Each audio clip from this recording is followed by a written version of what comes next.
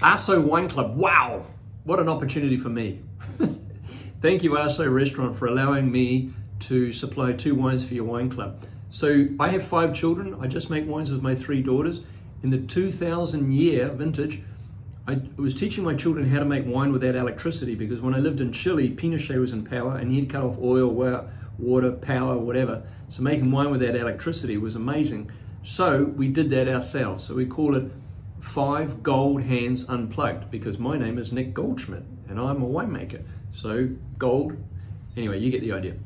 In 2001, Chelsea, my oldest daughter, she wanted to make wine with me. So being a father with a daughter and to have the opportunity to have a business with your daughter is fantastic.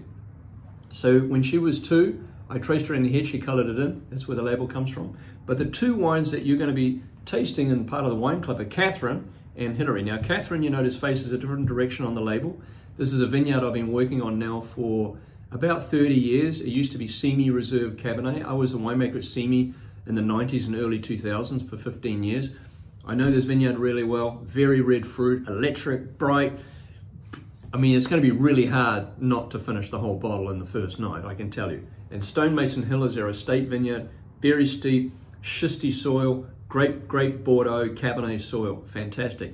And we make it in a Margaux style, left bank Bordeaux, without the heavy oak. So you get more fruit, more ripe red cherry. Oh my God, just got to try it.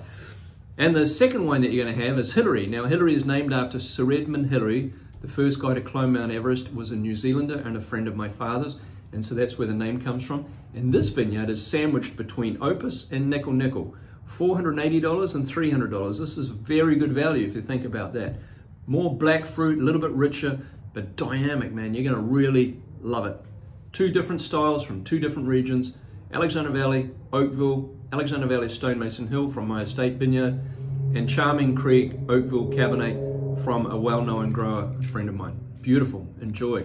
Thank you, Ahso.